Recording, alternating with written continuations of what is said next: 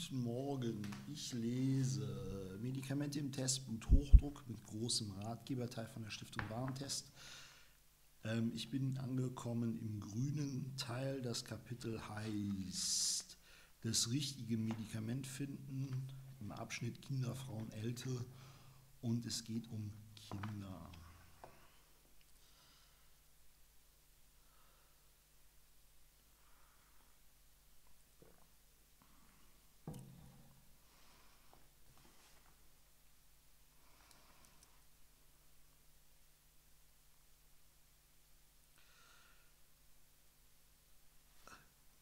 Als erstes gibt es einen grün abgesetzten Kasten mit einem I, ein äh, vermutlich Informationskasten.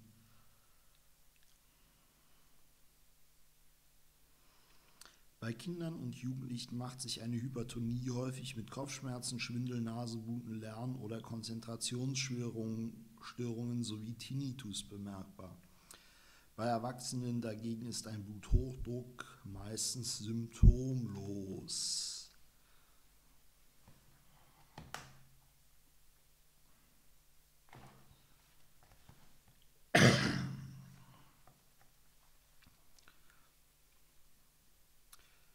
Immer mehr Kinder sind betroffen. Bluthochdruck ist keine alte Leute-Krankheit. Immer mehr Jungen und sogar Kinder und Jugendliche entwickelt einen zu hohen Blutdruck. Die Deutsche Hochdruckliga schätzt, es ist ein Lobbyverband, ähm, dass etwa 700.000 Kinder betroffen sind, so gut wie alle, zu gut Deutsch.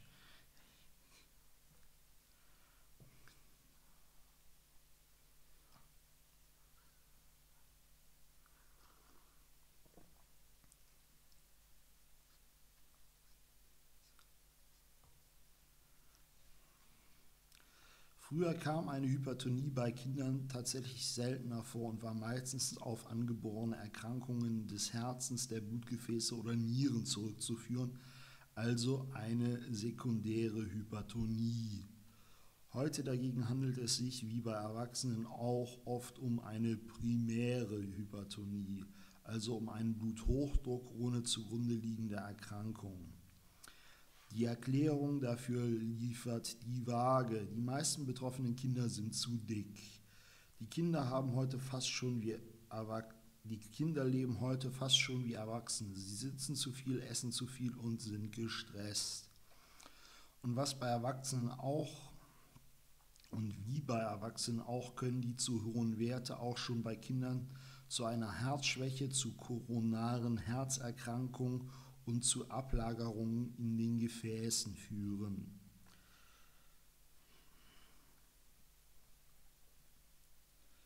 Ich stehe bei Gefäßablagerung auf das äh, Lösungsmittel Doppelkorn. Hilft, wirkt auch gefäßerweiternd.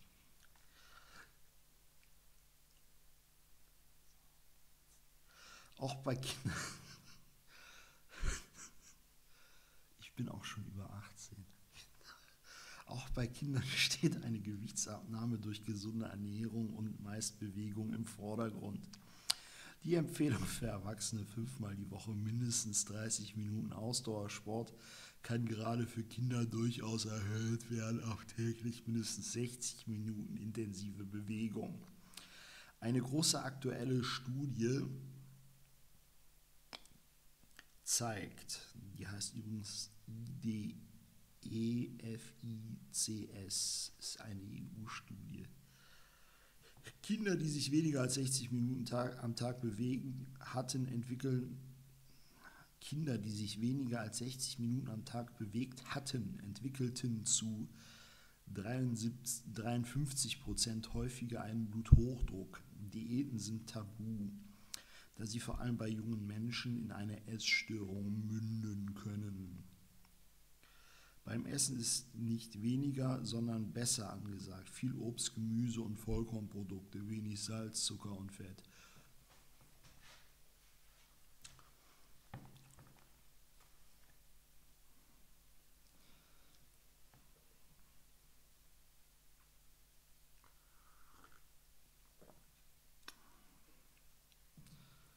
Andere Grenzwerte für Kinder.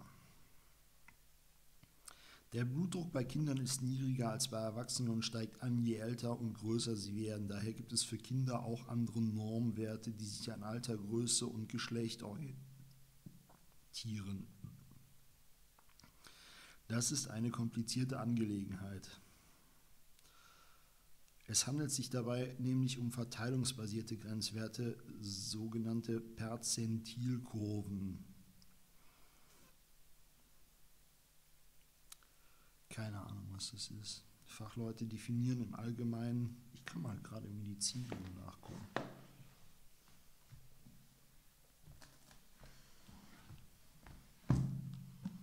Ich bin auch äh, als Lehrer in Statistik und in Stochastik geprüft worden. Was eine Perzentilkurve ist, weiß ich nicht.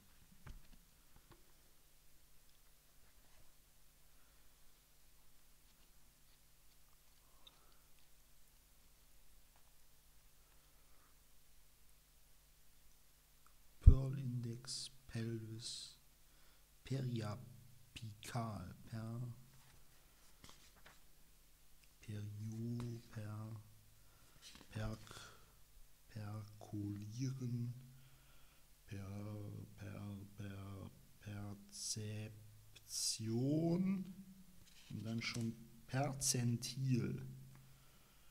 Statistische Größe, die die Position eines Wertes innerhalb der Werte eines Kollektivs beschreibt, die in aufsteigender Reihe sortiert sind. Aha, es geht also um eine Rangliste und dann wird die Position in einer Rangliste ermittelt. Darunter kann ich mir was vorstellen. Sowas gibt es auch in der Stochastik und in der Statistik auch. Warum der äh, Duden das Wort Rangliste nicht kennt, ist mir auch nicht klar.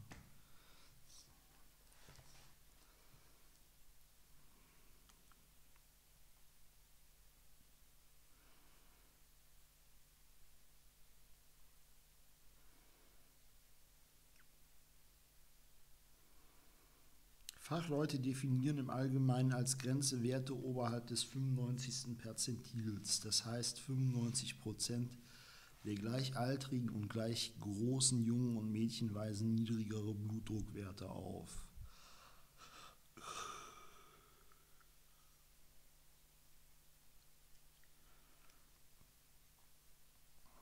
Nach der neuen europäischen Leitlinie zur Behandlung von Hochdruckerkrankungen bei Kindern und Jugendlichen liegt der Grenzwert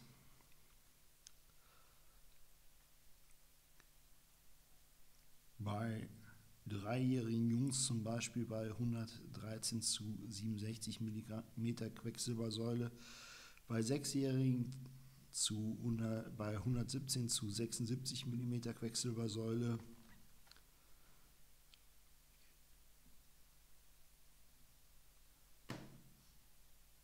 Zusammenhang auch interessant, wenn man mal im äh, Kindergarten so eine Rangliste bildet, dann kommt man relativ schnell zu dem Ergebnis, wenn ich hier die Zahlen lese, dass Kinder in Frankreich von Geburt an einen wahnsinnig niedrigen Blutdruck haben, wenn der europaweit ermittelt wird.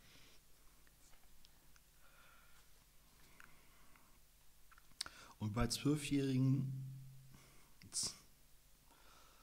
bei 127 zu 83 Milligramm Quecksilbersäule. Bei Mädchen liegen die Werte Du wirst verarscht, wo du nur hinguckst bei der Stiftung Warentest. Ähm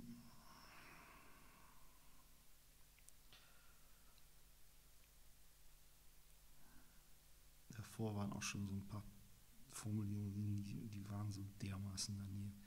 Bei Mädchen liegen die Werte im Allgemeinen ein klein wenig niedriger. 110 zu 69 Milligramm Quecksilbersäure bei den Dreijährigen 115 zu 76 mm Quecksilbersäule bei den Sechsjährigen und 126 zu 82 mm Quecksilbersäule bei den zwölfjährigen Mädchen.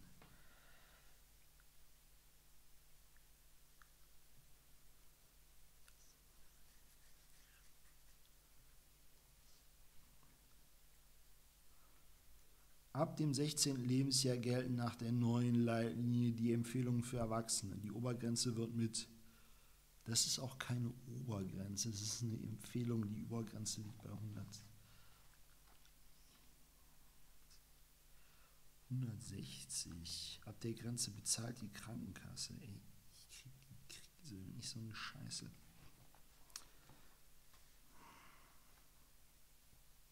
Haben die auch anders schon geschrieben. Als Eltern wird die Obergrenze mit 160 zu 90 mm Quecksilbersäule angegeben. Als Eltern sollten Sie den Blutdruck bei Ihren Kindern regelmäßig überprüfen.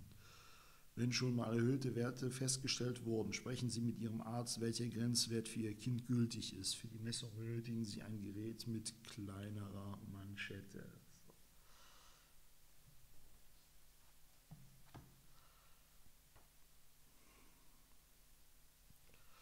So, als letzter Abschnitt und danach geht es in der nächsten Folge um ältere Medikamente für kleine Patienten. Reichen eine Umstellung der Ernährung und ein Sportprogramm nicht aus, um den Blutdruck bei Ihrem Kind zu senken, sind Medikamente angesagt. Vor allem dann, wenn Ihr Kind schon an Folgeschäden des Bluthochdrucks wie einem vergrößerten Herzmuskel oder verdickten Gefäßwänden leidet. Bisher sind allerdings nur wenige Medikamente für Kinder zugelassen, weil bis vor einigen Jahren als Arzneimittel vor allem an Erwachsenen geprüft wurden. Um diese Lücke zu schließen, ist 2007 eine EU-Verordnung in Kraft getreten, mit der pharmazeutische Hersteller verpflichtet werden, Medikamente auch an Kindern zu prüfen, wenn der Wirkstoff für die Kinderheilkunde relevant ist.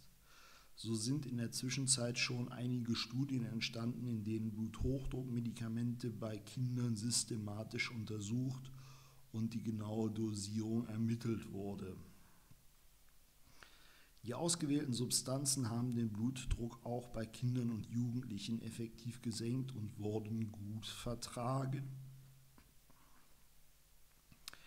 Es stehen allerdings noch Studien aus, die die verschiedenen Antihypertensiva miteinander vergleichen und beweisen, dass Folgeerkrankungen verhindert werden können.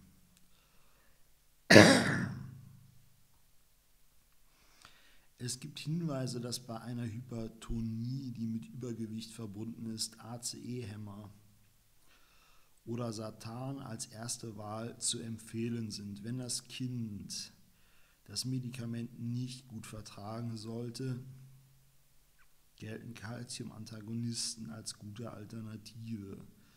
Unter den Beta-Blockern kommt Metoprolosugkinat in Frage. Bei Kindern mit Bluthochdruck, die kein Übergewicht haben, geben die bisherigen Studiendaten es nicht her, dass eine Medikamentengruppe einer anderen vorzuziehen ist. Ist die Therapie mit einem Medikament nicht erfolgreich, kommen auch bei den kleinen Patienten Kombinationen von mehreren Medikamenten zum Zug. Sieht der Blutdruck dagegen mit einem Medikament ausreichend, kann Ihr Arzt möglicherweise versuchen, das Medikament schrittweise zu reduzieren unter Beibehaltung des Ernährungs- und Sportprogramms. So, das war's mit Kindern. Weiter geht's später mit Älteren. Tschüss.